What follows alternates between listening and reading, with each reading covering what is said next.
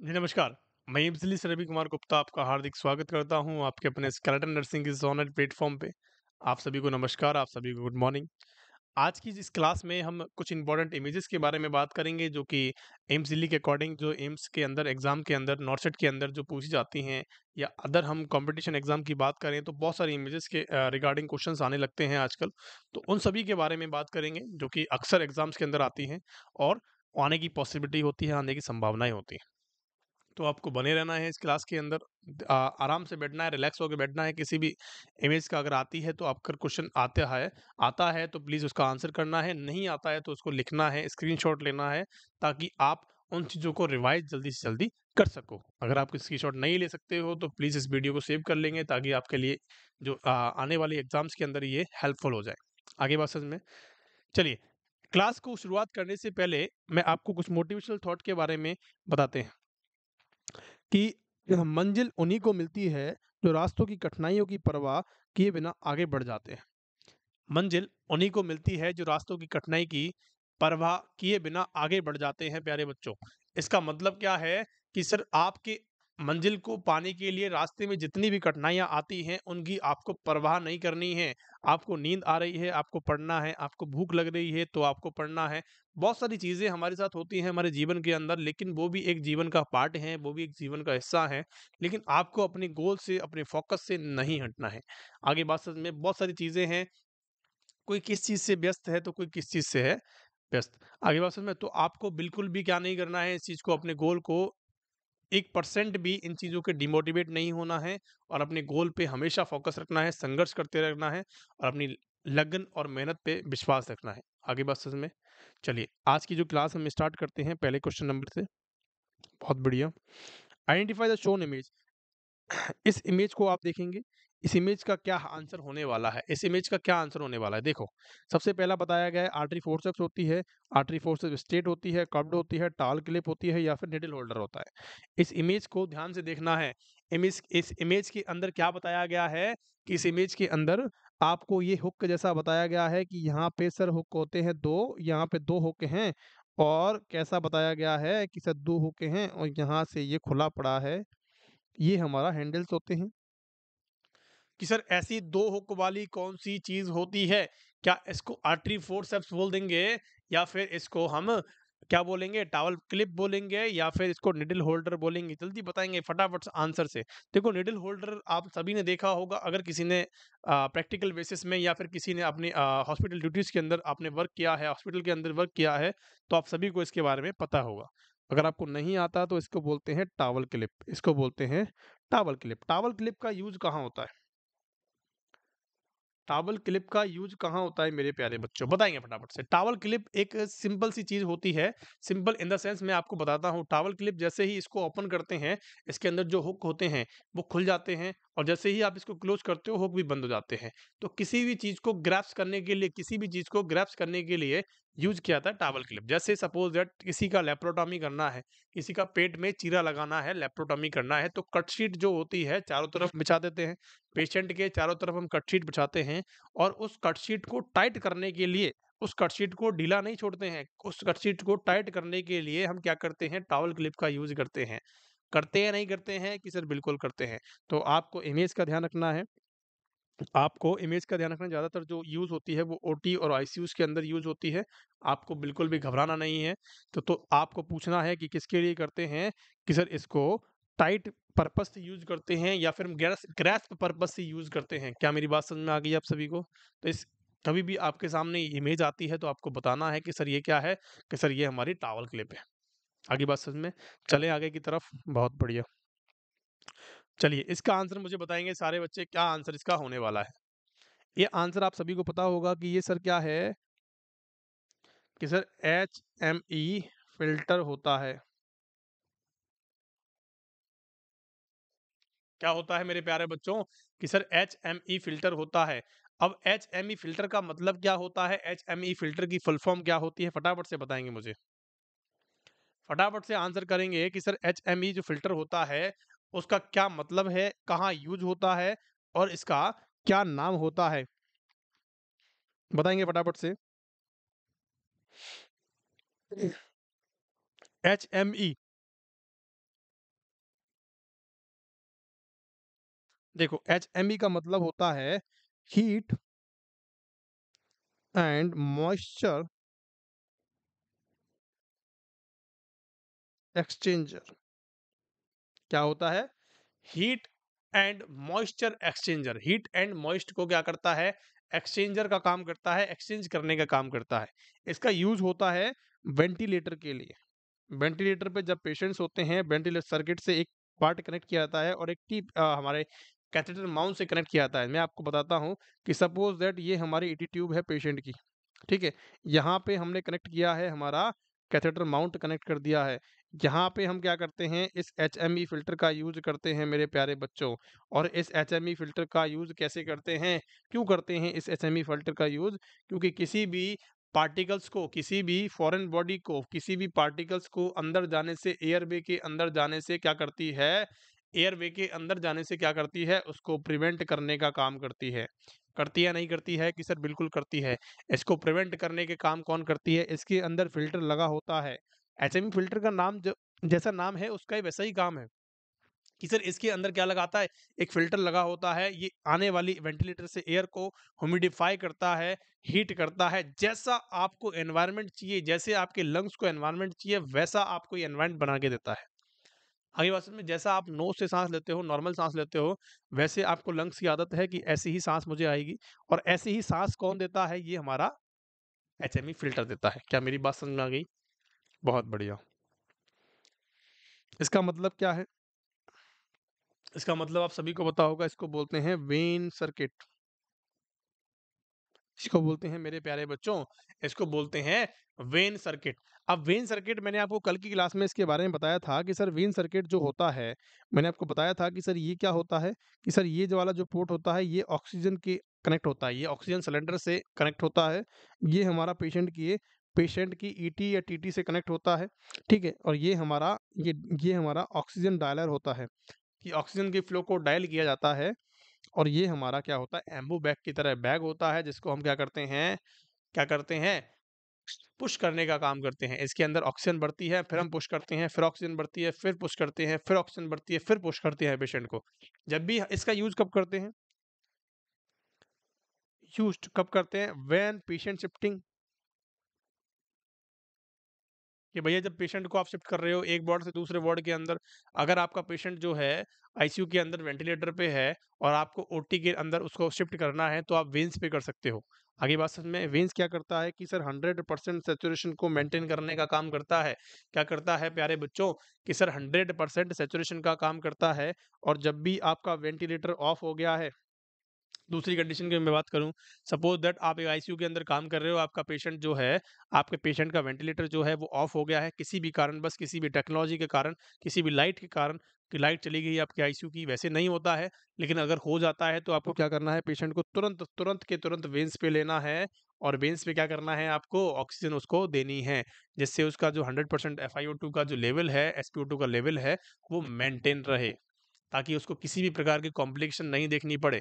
आगे मेरी बात समझ में, मेरे प्यारे बच्चों, क्योंकि जब ऑक्सीजन नहीं होगा बॉडी के अंदर तो क्या नहीं होगी कि सर ब्लड हमारे टिश्यूज को डिमांड नहीं होगी। जब डिमांड नहीं होगी तो क्या करेगा हमारा हमारा जो हार्ट है, वो पंप करेगा ज़्यादा ज़्यादा तो टैकिकार्डिया आपको देखने को मिल सकता है। इसीलिए क्या करना है, इसीलिए क्या करना है कि पहले हमें उस पेशेंट को वेंस पे लेना है, ताकि हम उसकी जान को बचा सकें। क्या मेरी बात समझ में आ गई? बहुत बढ़िया। इस क्वेश्चन का आंसर देंगे फटाफट से, ये क्या चीज़ है? इसके अंदर आपको देखने को मिल रहा है, ये ऐसा पैक सिस्टम होता है, पूरा पैक होता है, इसको ऐसे घुमाया जाता है, आगे वाले हिस्से को ये तोड़ दिया जाता है, इसको तोड़ दिया जाता है, इससे एक निडल निकलती है। इससे क्या निकलती है मेरे प्यारे बच्चों? एक निडल निकलती है, ये वाली निडल नहीं होती है, ये निडल निकलती है, इस निडल का क्या यूज़ होता है? इसको बोलते हैं लेंसेट, इसको बोलते हैं लेंसेट। अब लेंसेट का काम क्या होता है? लेंसेट का कहाँ यूज़ होता है? कि सर लेंसेट का यूज़ होता है? जब भी हम ब्लड शुगर करते हैं पेशेंट की, जब भी हम ब्लड शुगर करते हैं, पेशेंट की जब ब्लड शुगर करते हैं तो हम टिप पे क्या करते हैं? हमारे ऐसे इसको ऐसे इसको क्या करते हैं, पिंच कर देते हैं, ऐसे इसको पिंच करने का काम करते हैं, उसको क्या कहते हैं, लेंसेट कहते हैं। यहाँ से जैसे ही इसको पिंच करोगे, वहाँ से ब्लड की ड्रॉप देखने को मिलेगी और आप वैसे ही क्या कर लोगे, उसका ब्लड शुगर कर लोगे। करोगे या नहीं करोगे कि सर बिल्कुल कर लेंगे, इसको बोलते हैं लेंसेट।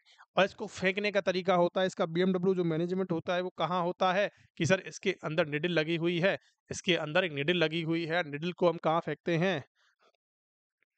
कि सर वाइट ट्रांसपेरेंट बॉक्स के अंदर फेंका जाता है। एक वाइट कलर का ट्रांसपेरेंट बॉक्स होता है, उसके अंदर हम क्या करते हैं, इसको डिस्कार्ड करने का काम करते हैं। क्या मेरी बात आप तक पहुँच गई है? समझ में आ गया है? चलें अगले क्वेश्चन की तरफ़। क्या अगले क्वेश्चन की तरफ़ चलें प्यारे बच्चों? चलिए। चलिए, इसके बारे में देखते हैं। ये क्या चीज़ है प्यारे बच्चों? आपको दिख रहा है। आपको बहुत अच्छे तरीके से दिख रहा है। एक मॉनिटर आपको देखने देखने को मिलता है। इसके अंदर ये ऑक्सीजन पाइप जा रहे हैं। ये क्या कर रहे हैं? इसको कहते हैं, बच्चों, इसको सभी को पता होगा। इसको कहते हैं, मेरे प्यारे लाल लालियों, कि सर इसको कहते हैं वेंटिलेटर। इसको क्या कहते हैं? कि सर इसको कहते हैं वेंटिलेटर। अगर आपसे कोई क्वेश्चन करता है कि सर वेंटिलेटर की इमेज कैसी होती है तो आपके सामने है। इसको क्या कहते हैं? वेंटिलेटर कहते हैं।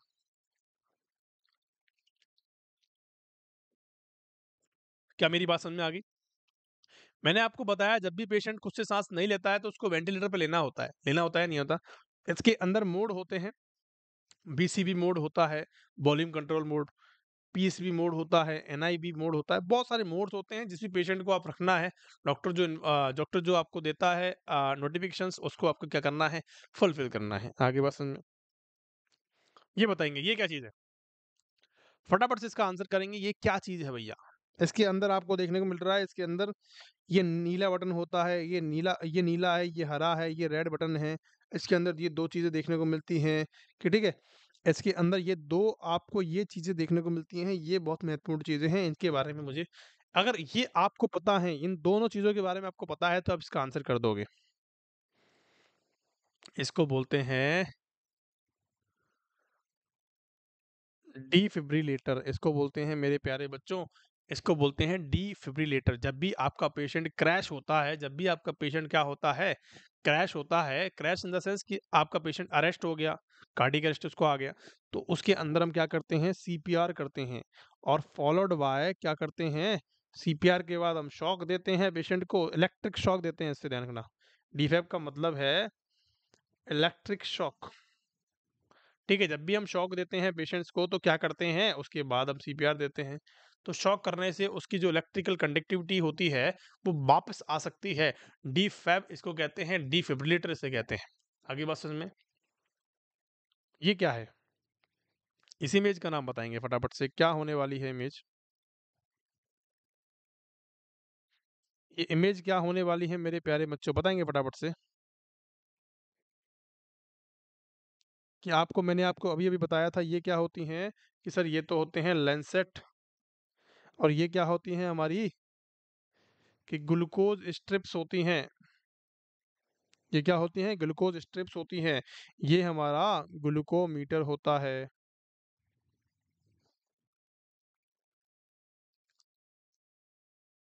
सर, ये मशीन होती है। मशीन के आगे स्ट्रिप लगाई जाती है। और स्ट्रिप में अंदर आपको ये नीला नीला देखने को मिल रहा है, ये हरा हरा देखने को मिलता है।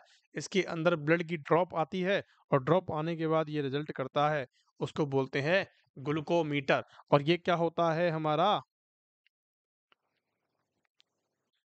ये हमारा होता है, ये पेन टाइप में होता है, पेन ग्लूकोमीटर उसका है। ये कैसा होता है? इंसुलिन पेन, इसको हम बोल सकते हैं। क्या बोलते हैं इसको कि सर, इंसुलिन पेन होता है। कैसा होता है सर इंसुलिन इसको पेन बोला जाता है। और डब्बियाँ जो होती हैं, ये ग्लूकोज स्ट्रिप इसके अंदर रखी होती है, इसलिए इसको डब्बियों को यहाँ पे दिया हुआ है। इसका मतलब आपको पता लग गया है कि सर डीफेब्रिलेटर होता है। मैंने ऊपर आपको बताया था, यूरो बैग होता है, एक होता है यूरोमीटर। अब देखो, यूरोमीटर क्यों बोला इसको? क्योंकि इसके अंदर क्या है कि सर, यू एक मीटर लगा होता है कि सर, इसके अंदर एक मीटर लगा होता है जिसके अंदर यूनियन आता है और यूनियन को हम पलट के क्या कर देते हैं बैग के अंदर खाली कर देते हैं। उसी को कहते हैं यूरोमीटर कि कितना एमएल पर आवर पेशेंट क्या कर रहा है? यूरिन पास कर रहा है। इसका यूज़ सिर्फ़ हम आईसीयू पेशेंट के अंदर करते हैं, जो क्रिटिकल पेशेंट्स होते हैं, उनका हमें पर आवर यूरिन हमें देखना होता है, इसीलिए हम इसका यूज़ ज़्यादा यूज़ में लेते हैं। क्या मेरी बात आपको समझ में आ गई मेरे प्यारे बच्चों? यहाँ तक की बात आपको समझ में आई या नहीं आई? यहाँ तक की कहानी में किसी को कोई डाउट है? चलिए, अगले क्वेश्चन की तरफ़ चलते हैं। ये क्या चीज़ है? ये क्या है और ये क्या है? दोनों चीज़ें अलग अलग हैं। इन दोनों चीज़ें, ये दोनों चीज़ें जो हैं बच्चों, वो अलग अलग हैं बतापट बताएँगे क्या आंसर है इसका?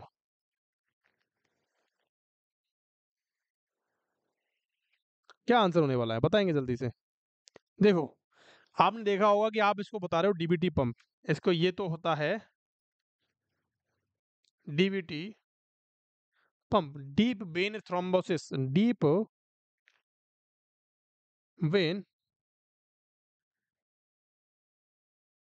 thrombosis हमारे पैर के अंदर, हमारे लेग्स के अंदर डीप वेन्स पाई जाती हैं और डीप वेन्स के अंदर थ्रोम्बोसिस होने के बहुत ज़्यादा चांसेस होते हैं, जो हमारे पोस्ट ऑपरेटिव पेशेंट होते हैं क्वाड्रिप्लेजिक पेशेंट्स होते हैं, उनके अंदर डीप वेन थ्रोम्बोसिस पेशेंट होने के चांसेस ज़्यादा होते हैं। इसीलिए उस, वहाँ पे क्या लगाया जाता है? डीप वेन डीवीटी पंप लगाया जाता है, जो क्या करता है? वो कंटिन्यूसली प्रेस करने का काम करता है एक शॉर्ट टाइम ऑफ़ पीरियड के लिए। क्या करता है? इस कफ, इसको बोलते हैं डीवीटी कफ। अगर आपसे सेपरेट क्वेश्चन पूछा जाता है तो इस प्रकार का डीवीटी कफ होता है, किसी भी कलर कोडिंग के अंदर हो सकता है, आपको घबराना नहीं है। ये यहाँ पे रेड कलर देखने को मिलता है, वहाँ पे शायद ब्लू देखने को मिल जाए व्हाइट देखने को मिल जाए ग्रीन देखने को मिल जाए तो आपको घबराना नहीं है। पैर के अंदर कोई कफ बंधा हुआ है तो उसको बोलते हैं डीबीटी कफ आगे बस में और कोई मशीन लगी हुई है तो उसको बोलते हैं डीबीटी पंप आगे बस में ये क्या है भैया, बताएँगे फटाफट से। ये क्या प्रोसीजर कर रही है? ये जो फीमेल है, ये जो नर्स है, ये टेक्नीशियन जो हैं, ये क्या काम कर रहे हैं? ये किस काम को अंजाम दे रहे हैं? फटाफट से आंसर करेंगे। ये किस काम को अंजाम दे रहे हैं? ये क्या कर रहे हैं? देखो, यहाँ पे लीड्स लगाई हुई हैं ग्रीन ग्रीन कलर की सिक्स लीड लगी हुई हैं तो उसको बोलते हैं, ये क्या कर रही है? ईसीजी कर रही है पेशेंट की। सिक्स लीड ईसीजी भी इसको बोलते हैं। इसको सिक्स लीड ईसीजी बोलते हैं यहाँ पे भी आपको देखने को मिलता है। इस कंडीशन को बोलते हैं मेरे प्यारे बच्चों सिक्स लीड ईसीजी क्योंकि छह लीड चेस्ट लीड्स होती हैं और चार कैसी होती है? लिम्फ लीड्स होती हैं। आगे बात समझ में ईसीजी के ऊपर हम लेक्चर लेंगे आपको डिटेल में समझाऊँगा कि ईसीजी क्या होती है। ये क्या है? आपने इसके बारे में जनरली देखा होगा कि ये क्या चीज़ है। ये क्या चीज़ है बच्चों? इसके अंदर क्या चीज़ होती है कि सर इसके अंदर नेबुलाइजेशन मास्क लगा हुआ है पेशेंट को नेबुलाइज करने के लिए तो इसको बोलते हैं नेबुलाइजर। कि जब भी पेशेंट सजेस्ट जब भी डॉक्टर सजेस्ट करता है कि आपको नेबुलाइजेशन की ज़रूरत है तो आप क्या करते हो? इसका यूज़ करते हो और इसके अंदर ये पोर्ट लगा होता है और इसके अंदर ये बटन होता है ऑन ऑफ़ का।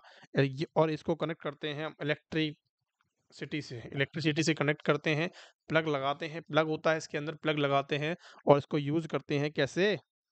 इसके अंदर वेपर्स बनती हैं, उसको यूज़ करते हैं एज ए नेबुलाइजर। अब आपके सामने एक इंपॉर्टेंट इमेज है, इसके बारे में मुझे आप बताएँगे, ये बहुत ज़्यादा इम्पोर्टेंट होती है, काफ़ी बार एग्ज़ाम के अंदर पूछी गई है। ये इमेज आप सभी को पता होगी। लेकिन इसके अंदर जो खास बात पूछी जाती है, उसके बारे में आपको बताना चाहता हूँ। इसको बोलते हैं कार्डियक मॉनिटर। अब कार्डिक मॉनिटर के अंदर आपको ये बात समझ में आ गई कार्डिक मॉनिटर है। लेकिन जो सबसे ऊपर चीज़ होती है, सबसे ऊपर जो चीज़ होती है, ये होती है हार्ट रेट उसके नीचे जो होता है 98 जो आपको देखने को मिलता है, वो होता है टू और ये जो होती है, वो होती है रेस्पिरेशन रेट और नीचे आपका बीपी होता है। ये होता है कार्डिक मॉनिटर का सेटअप। आगे बात में, अब आपसे क्वेश्चन कैसे पूछेगा? आपको यहाँ पे एक मार्क करेगा, आपको यहाँ पे आपको ऐसे मार्क करके पूछेगा कि ये क्या चीज़ है?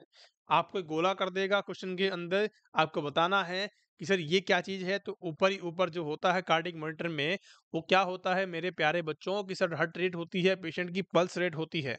आगे बात समझ में? और आपसे क्वेश्चन करता है कि सर ये क्या है? कि सर आपको बताना है कि सर एस होता है, ये हमारा ट्वेंटी रेस्पिरेशन होता है। आपको एक थोड़ा थोड़ा सा आइडिया भी लगाना है, अगर आपसे नहीं आता है थोड़ा थोड़ा आइडिया लगाना है अपनी नॉर्मल रेंज के अकॉर्डिंग। ये क्या होता है मेरे प्यारे बच्चों? ये बीपी होता है और ये कितना है? बीपी जो है, वो कितना, मीन कितना है तो आपको बताना है कि सर 90 है। मीन कितना है कि सर 90 है? आगे बात समझ में तो इन चीज़ों के बारे में आपको घबराना नहीं है। यहाँ से क्वेश्चंस बहुत सारे बनते हैं। क्वेश्चंस कैसे कैसे बनते हैं, मैंने आपको बता दिए हैं। आगे बात समझ में अब इसके बारे में बताएँगे, ये क्या चीज़ है भैया? आप सभी को पता है इसके बारे में? या नहीं पता तो मैं आपको बताता हूँ। इसको बोलते हैं नेजो गैस्ट्रिक ट्यूब इसको बोलते हैं सर नेजो गैस्ट्रिक ट्यूब इसको बोला जाता है। ये अलग अलग कोल्ड ड्रिंक के अंदर क्या होती है मेरे प्यारे बच्चों? प्रेजेंट होती है। इसकी जो टोटल लेंथ होती है इसकी जो टोटल लेंथ होती है वो 105 सेंटीमीटर की होती है और इंसर्टिंग जो लेंथ होती है इसका इंसर्ट जितनी हम करते हैं वो कितनी करते हैं कि सर 60 सेंटीमीटर इंसर्ट करते हैं। बाकी की जो 45 सेंटीमीटर है वो बाहर प्रेजेंट होती है।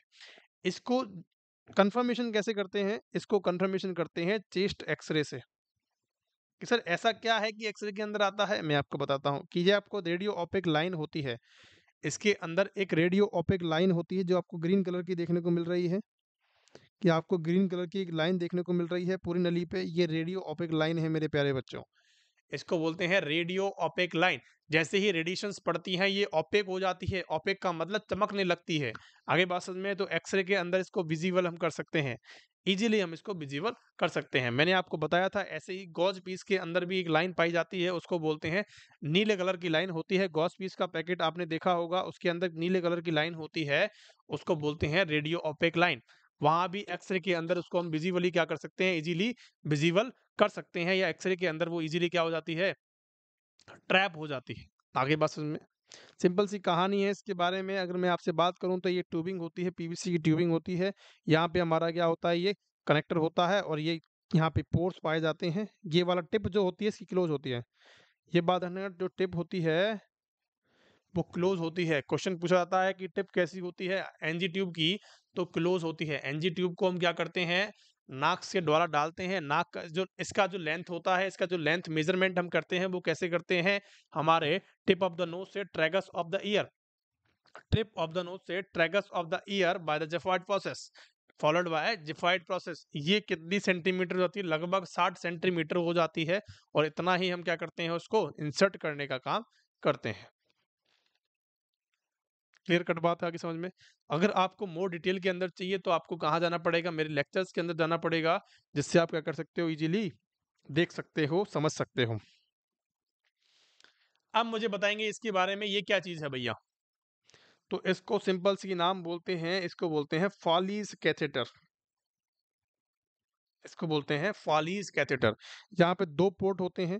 यहाँ पे दो पोर्ट होते हैं, एक जो वाला पोर्ट होता है, ये वाला जो पोर्ट होता है, वो यूरिन के लिए होता है और ये जो आपको रेड कलर का देखने को मिलता है, ये जो आपको व्हाइट कलर का देखने को मिल रहा है, ये पोर्ट होता है हमारा वैल्यून पोर्ट। इसके अंदर हम क्या करते हैं, इसके अंदर हम टेन एम क्या करते हैं, सलाइन डालते हैं और सलाइन डाल के इस गुब्बारे को फुलाने का काम करते हैं। ये होता है मेन वैल्यून। इसका काम क्या होता है, to fix the Foley's catheter इसको फिक्स करने का काम करती है फॉलिस को फिक्स करने का काम कौन करता है? हमारा मेन वैल्यून करता है। करता है या नहीं करता है? मेरे प्यारे बच्चों की सर बिल्कुल कर देता है। आपने देखा होगा, आगे बात में मेल एंड फीमेल दोनों के लिए यूज़ होता है। इस टॉपिक की, इस क्लास की हमारी लास्ट इमेज क्या कहती है, देखेंगे। ये क्या है बच्चों? ये क्या है? ये हमारी है आईसीडी बोतल। क्या है? आपने, मैंने आपको कल बताया था चेस्ट ट्यूब के बारे में, ये होती है आईसीडी बोतल। आईसीडी बोतल का मतलब क्या है? इसको हम यूज़ करते हैं किसी भी पेशेंट के अंदर। मैंने आपको बताया था, मैंने, अगर आपने मेरी चेस्ट ट्यूब के अंदर क्लास नहीं ली है या फिर हम कह सकते हैं आईसीडी के ऊपर नहीं ली है तो आपको प्लीज़ गो एंड वॉच। बहुत ज़्यादा इंपॉर्टेंट है आईसीडी का मतलब होता है इंटरकोस्टल ड्रेनेज इंटरकोस्टल ड्रेनेज का मतलब क्या है? इंटरकोस्टल ड्रेनेज का मतलब क्या है कि इंटरकोस्टल कोस्टल स्पेस के अंदर जाके वहाँ से ड्रेन निकालने का काम करती है कौन? आईसीडी बोटल आगे बस इसमें। सिंपल सी कहानी है, आपको समझना है इसके बारे में क्योंकि यहाँ पे यहाँ पे एक इनिशियल मार्किंग होती है, मैं आपको बताता हूँ। ये आपको देखने में मिल रहा होगा कि इसके अंदर वाटर भरा जाता है या आपको देखने को मिलता होगा यहाँ पे एक लेवल होता है, इनिशियल लेवल होता है यहाँ पे लिखा हुआ होता है, आपको नहीं दिखाई दे रहा होगा। यहाँ पे होता है इनिशियल लेवल लिखा हुआ होता है, यहाँ तक हम पानी भरते हैं इसके अंदर। यहाँ तक हम NS norm uh, distilled water भरा जाता है और जब भी इसके अंदर डिस्टिल्ड वाटर भरा जाता है, वो क्यों भरते हैं? क्योंकि बबल्स को देखा जाता है एयर अगर आ रही है या फिर हम कह सकते हैं कि इसको बाहर की जो एयर है वो प्रवेश ना करे। आगे बात समझ में? क्या मेरी बात समझ में आ गई है? बहुत बढ़िया। Thank you so much for being there. आज की क्लास में सिर्फ़ इतना ही पढ़ेंगे और आपको अगर क्लास पसंद आई हो, इम्पोर्टेंट इमेज आपको लगी हो तो प्लीज़ को शेयर करेंगे अपने दोस्तों के साथ ताकि उनको भी इस क्लास का बेनिफिट मिल सके और हमें भी हमें भी क्या मिल सके, हमें भी मोटिवेशन मिल सके ताकि हम आपके लिए अच्छे से अच्छा कंटेंट लेके आए हमेशा। ताकि सो मच पढ़ते रहें इसी प्रकार और बढ़ते रहें।